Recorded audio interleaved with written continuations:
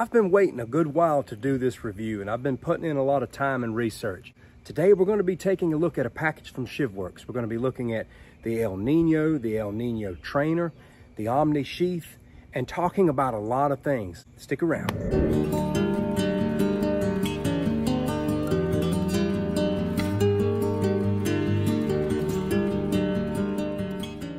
Hope you're doing well, my friend. I want to encourage you to stick around to the end of the video because it's going to be divided up into three parts. Part one is specifications and facts. Part two is going to be all about carry options, which is a very important part of the review. And lastly, we're going to dive into some training. Now, the El Nino is very similar to the full-size push dagger that they have, but it's smaller for more concealability and comfort.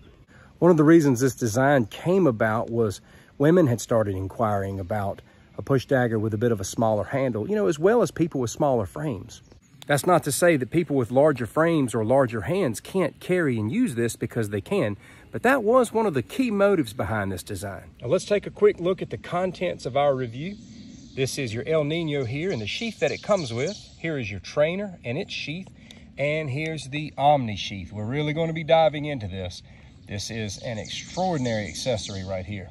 There's a lot of things that makes the El Nino stand out among a lot of other push knives. And a lot of thought went into this design. The El Nino has been tested and carried by special forces, SWAT, and law enforcement. This is perfect for covert everyday carry, and you don't have to have a lot of training with something like this. If you can throw a punch, you can use the El Nino. You're gonna be working with a punch that's got a blade on the end of it. It's 12C27 steel with a nice grippable G10 handle here. I saw something the other day I consider very insightful regarding the difference between micarta and G10. You know, micarta has a tendency to absorb things like blood, oil, and it ends up becoming almost a slippery surface. One of the things that's great about G10 is that it can be textured to feel like micarta without getting slippery. Another great feature of this handle is it's not going to roll in your hand. There's a lot of things that can be used as a push dagger. You can take a little round handle, drive a nail through it. You got a push dagger. You've got key, you can use it as a push dagger, but it just doesn't have the same security and a lot of those things will roll in the hand.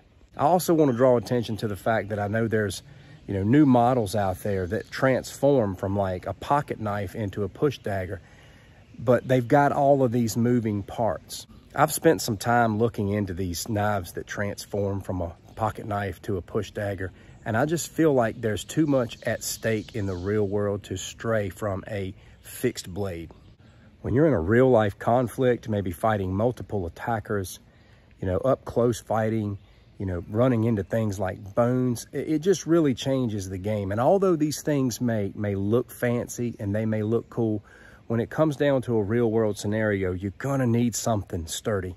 You've got an overall length of four and seven eighths inches, but your blade length is 2.75. The El Nino comes also with an ambidextrous setup. Which takes us into our next portion of this review, which is carry. We buy knives that we think are cool, but what we discover is they're just not good everyday carry blades. It's some issue with the sheath, some issue with comfort, concealability, maybe it's not ambidextrous. What I like most about ShivWorks and the blades they design is that they have all of these things in mind. They address all of these issues.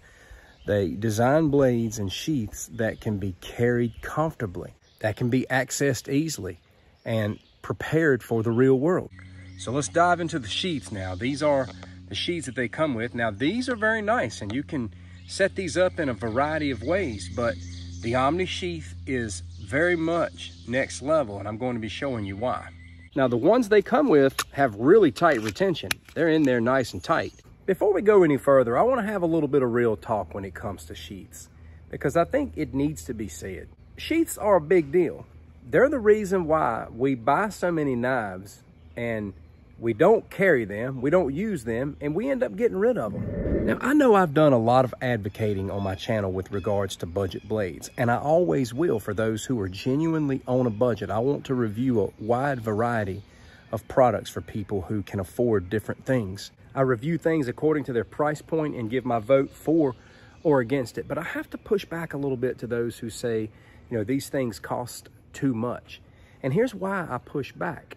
You know, by the time we buy 10 different knives with 10 different sheaths that don't work for us, we could have just saved our money and got something that we would actually carry every day. So just keep that in mind as we go through this review. I mean, how many knives are you gonna buy before you find something that you can actually carry? Going forward, I'm gonna talk mostly about the Omni sheath, but you know, as far as the factory sheath that these come with, like I said, they got great retention. They're nice. You can make adjustments with this if you want to, whether you want to carry it upright or you want to carry it at a you know, horizontally or maybe even at a downward diagonal type of way. So it's a great sheath, but I just think it's worth it to invest in the Omni sheath. And I'm gonna tell you all the reasons why. My favorite feature right off the bat is the fact that you can put the El Nino and the trainer in the Omni sheath. It can be carried ambidextrous, and this discreet clip could even allow women to hook this thing to yoga pants. If you notice all of these screws, there's many adjustments that can be made. Now, I wanna show you these up top you can change these to even tighten the retention even more. This is how it comes in the factory. Now, I, I think the factory retention is good, but if you want tighter retention, you can move these screws upward to tighten the retention. Now, this set of screws here allows for the adjustment of the height of the clip and for the cant or the angle. You might want to set this up at a different angle. Well, you can do that by adjusting these screws here. Here's another thing I want to show you. There's not a lot of room between my finger and the top of this sheath. Now I can get a grip, it works. But let me show you something with the Omni sheath. But look at the room that I get there with the Omni sheath, the extra room between my hand and the sheath. Easy access. Now there's a lot of different ways I can go about mounting this, but I want to show you this pocket carry up close here. I mean, if I had a long t-shirt, I could just cover that up perfectly. But even if not, that's not tacky easy access. You can go right inside the waistband. Still very easy access. Testing the comfort level inside the waistband, bending down, comfortable standing up, lifting my leg. Pretty comfortable all in all. Now, don't take this the wrong way, but if you got a big belly, you're probably gonna want to do pocket carry or carry on your side. I personally find the side carry very comfortable. You could hook it to your belt or your jeans or yoga pants jogging pants, whatever you got. But we've got to be able to carry our blades comfortably and access them easily in a time of need. And this is why I can say with full confidence that if you're serious about your survival and you're serious about your defensive combative effectiveness, do consider the Omni Sheath if the El Nino has got your attention. But if you can't go with the Omni Sheath, this will still treat you well. It's an ambidextrous option.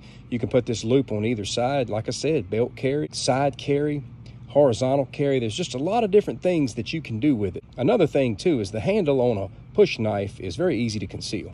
So I believe it's a win-win for you either way, however you decide to carry this. But that Omni sheath, man, that thing's hard to beat. Now for the fun part, we're gonna get into some training. If you're gonna carry these blades, you need to train with these blades. Some of the clips I'm gonna include is training I've been doing over the last few weeks. Some of it's been with a live blade. Some of it has been with the trainer using Bob. What I like about using Bob is he gives you the opportunity to feel some impact. This blade is good for those who have little training and a lot of training because it's not just a piercing object, it's also a slicing object. In this video, you're gonna have an opportunity to see a lot of both. Some boxing with the blade, some slicing with the blade, the ability to grab the blade, deploy it quickly and go to work, but you're also gonna see some combos. This first clip is me training with Bob, just training on quick deployment and putting together some combinations.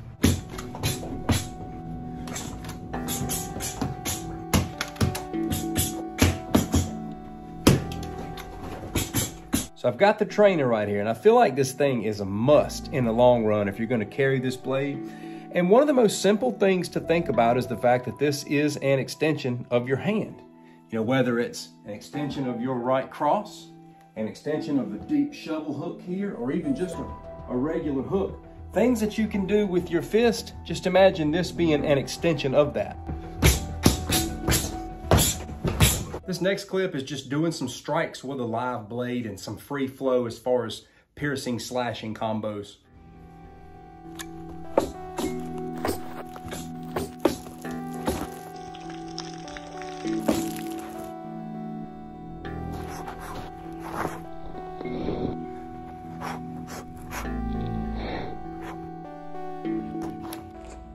There's a lot of depth that we could go into with regards to training with this blade, but again, I want to re-emphasize that you don't have to have a lot of training to defend yourself with an item like this, but you can build on that. I think one of the most important things with training is just learning how to deploy it quickly for one thing, how to get to it. That's important because life's not going to allow as much time. Now, there are ways to draw it quicker than others. For me, I like the pocket carry, which makes it very quick for me to be able to deploy mine.